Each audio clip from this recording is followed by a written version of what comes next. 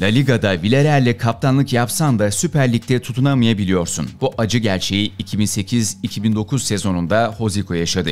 2000'lerin ortası son bölümü futbolda İspanyol ekolünün zirve yaptığı yıllardı. Fenerbahçe teknik direktörlüğe İspanya efsanesi Luis Aragones'i getirmişti. Aragones'in yönetimden istediği transfer La Liga'da istikrar ve tutarlı oyunuyla dikkat çeken, sahada yorulmak bilmemesiyle ve çalışkanlığıyla tanınan Hoziko olmuştu. 6 yıldır oynadığı Villarreal'in kaptanlarından biriydi ve ilk kez Fenerbahçe için ülkesinden ayrıldı. Daha önce dediğimiz gibi istikrarıyla tanınıyordu. Fenerbahçe'de ise sakatlıklar peşini bırakmadı. 8'i kas, 8'i alt adele yırtı olmak üzere 16 maçı sadece sakatlıktan kaçırdı. Fenerbahçe kariyeri toplamda 21 maç sürdü. Sezon sonu sözleşmesi feshedilen Hoziko eski takımı Las Palmas'a döndü. Bugünlerde İspanya alt liglerinde teknik direktörlük yapıyor.